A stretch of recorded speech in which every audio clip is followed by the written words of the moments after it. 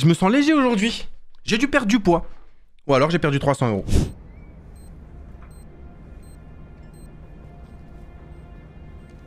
Both are long. What is it there? Are they close? Mine. I was the first to find it. What the hell? You beat me, John. Get off me. Well, how do I put this? Stop fighting for skins in the game. Get them on Hellcase. New giveaways every day. Follow the link in description and use a code to receive your bonus. Salut les BG, j'espère que vous allez bien. Aujourd'hui, nouvelle vidéo. Voilà, comme vous l'avez vu dans la vidéo précédente, j'ai fait l'acquisition d'une Final Mouse. À l'époque, 300, 300 euros. Ouais, ouais. Donc voilà, j'ai fait l'acquisition d'une Final Mouse à 300 euros. Est-ce que ça vaut le coup? Est-ce que ça vaut pas le coup? Bah, on va le savoir tout de suite. Hein. Je vais vous le dire en toute honnêteté. On va pas se mentir. On va, on va parler la vraie France de Molière. Donc voilà, on va la déballer ensemble. J'ai mis une deuxième cam qui se trouve juste là. Si par exemple je fais ça comme ça là, hop, hop, hop, hop, on n'a rien vu. Donc voilà, vous la voyez ici sur euh, la deuxième caméra une, deux, investissement. On a de l'oseille ou pas d'oseille, c'est faux. J'ai plus du tout d'argent. Mais bon, vous voyez ici la boîte de la Final Mouse que j'ai reçue. Ça fait maintenant 3-4 jours que je l'ai reçue, hein, on va être honnête. Comme ça, j'ai pu la tester. Au moins, je peux vraiment vous donner mon avis là-dessus. Je vais vous dire ce que j'en pense et je vais vous montrer à quoi elle ressemble également. Quand tu la reçois, bah, c'est simple, hein, tu reçois une bête de une bête de boîte comme ça. Bon, normalement, t'as pas cette étiquette avec écrit vérifié de StockX, étant donné que quand tu la reçois, elle est censée être authentique. Mais là, c'est StockX qui me l'envoie et qui vérifie qu'elle est bel et bien authentique, que c'est pas du scam. Voilà, tu l'ouvres, c'est une belle boîte, belle boîte, belle bite, comme on dit chez moi. Et là, tu as présentement la Final Mouse Starlight 12. Quand je l'ai vue, j'ai eu une érection. Je m'explique, qu'est-ce qu'une érection? Quand euh, tu et érectivité. Voilà. Voilà à quoi elle ressemble. Bon, moi j'ai rajouté, je vais dégager la boîte. Moi j'ai rajouté ce petit grip ici euh, pour avoir une meilleure accroche. Après, vous n'êtes pas obligé, elle est très bien comme elle est de base. Et voilà à quoi elle ressemble. Elle est hyper belle. Design 20 sur 20. Donc quand vous allez recevoir la boîte, elle ressemble à ça. Vous allez avoir également en dessous un capteur que moi j'ai déjà branché sur le PC. Et euh, si on retire le cache, en dessous, on a des bouquins, etc.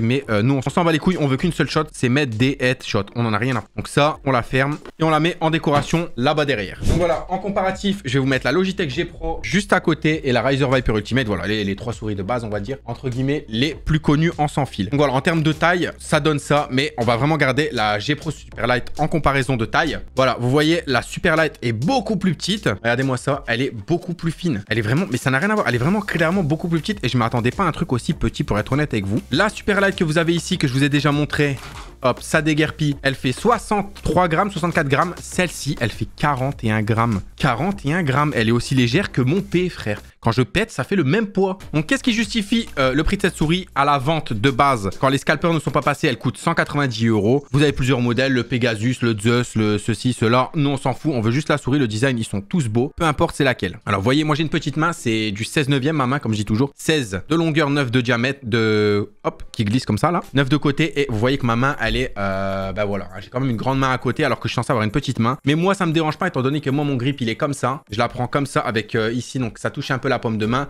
pour être assez libre et pouvoir jouer. Euh, Qu'est-ce qui justifie ce prix? Vous allez me dire 200 euros pour une... Enfin, ouais, déjà 200 euros de base pour une souris, c'est cher. 300 euros.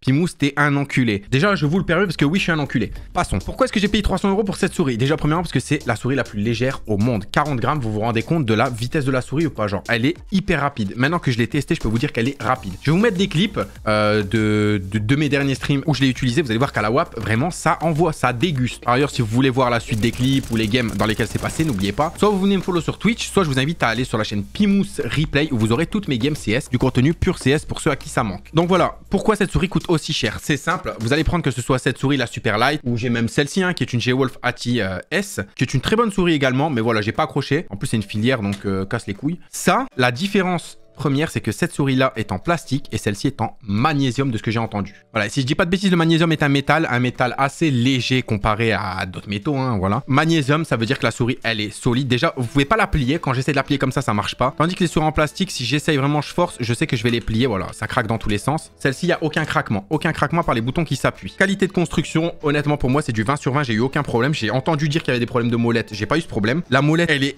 excellente. Les boutons, excellents. Les clics, il y en a qui me disent ils sont durs. À mon avis, il va falloir aller à la salle parce que les clics, je les trouve hyper fluides. Pour le tapping, ils sont incroyables. Impossible de faire des doubles clics par erreur. Vraiment, cette souris est incroyable. Maintenant, je comprends pourquoi Ninja Rocket, qui est un grand youtubeur, teste les, mou les mouse, les souris, l'a mis numéro 1. Numéro 1.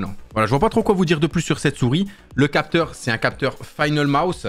Donc c'est C'est eux qui le font en gros. Je vais quand même aller sur CS étant donné qu'on est sur une chaîne CS. Hein. Cliquez quelques têtes, vous montrer un petit peu. Mais voilà, la souris vraiment dans l'ensemble, moi je la trouve excellente. Je regrette absolument pas mon achat. Vraiment 300 euros très bien investi, je vais être honnête avec vous. En ce qui concerne les tailles de la souris, etc. Si vous voulez plus de détails, je vous mets le lien Final Mouse en description. Vous avez juste à aller jeter un œil. Pourquoi cette souris C'est pas pour tout le monde? Déjà parce qu'elle est très petite. Si vous avez une grande main, oubliez cette souris. Ne perdez même pas de temps, vous allez l'acheter pour rien. Après, il y a un modèle médium et encore, il reste relativement petit. le médium, il va être à peu près de la taille de celle-ci qui est un tout petit peu plus grande, quoi, je dirais un peu plus longue un peu plus haute. Voilà. Ensuite, euh, un autre point, c'est que, regardez, ma sensi, elle est de 0,7. Normalement, j'ai 0,75 de sensi, j'ai dû passer à 0,7. Pourquoi? Parce que la souris est plus légère. Quand c'est plus léger, c'est plus dur à contrôler et c'est tout à fait normal. Mais c'est là où je vais en venir. Pourquoi est-ce que c'est bien de jouer avec des souris légères? Simplement parce que, pour ceux qui le savent pas, voilà, que ce soit sur CS ou tous les FPS, plus votre sensi va être basse et plus vous allez bénéficier d'une meilleure précision. Plus la distance parcourue va être grande pour faire un mouvement et plus ce sera facile de vous arrêter au bon endroit pour viser la tête. Par exemple, si vous avez une très haute et votre mouvement il consiste juste à bouger légèrement le poignet, ça va être plus difficile d'ajuster euh, quand vous avez une basse sensi, pardon, de traquer, etc. C'est plus précis.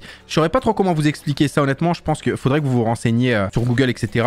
Je, sais pas, je pense pas que ce soit intéressant d'en faire une vidéo. Mais voilà, les sensi les plus basses seront souvent les plus précises. Il y a des exceptions comme Simple, etc. Mais vous regardez des mecs qui ont une IM smooth et précise, c'est des mecs comme Nico, des mecs qui ont une sensi assez basse souvent. Je pense que vous entendez le bruit du clic. Je vais vous mettre, euh, attendez, le micro.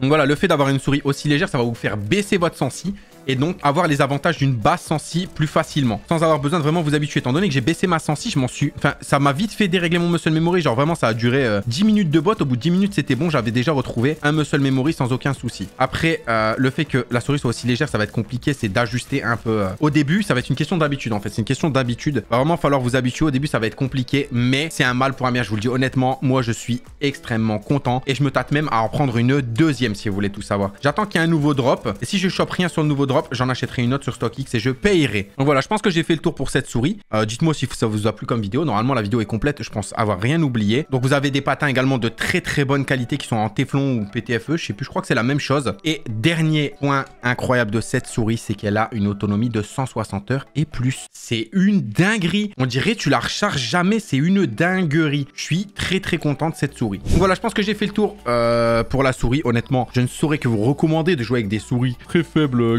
J'ai parlé comme un gentleman, sa mère. Voilà, prenez des souris les plus légères possibles. C'est pas compatible pour tout le monde, certains n'aimeront pas, mais voilà, moi je vous conseille d'au moins essayer. Surtout ceux qui ont l'habitude de jouer des basses sensi, essayez, c'est vraiment incroyable. Donc voilà les potes, si vous avez aimé la vidéo, vous voulez plus de vidéos de ce style, vous likez la vidéo, tu t'abonnes, tu lâches ton like et surtout laissez des commentaires, c'est super important. Pour le référencement, vous commentez de moins en moins et ce serait important de le faire. Donc voilà les potes, je vous fais plein de bisous, je vous souhaite une excellente journée ou une excellente soirée selon quand vous regardez la vidéo. C'était Pimous. Ciao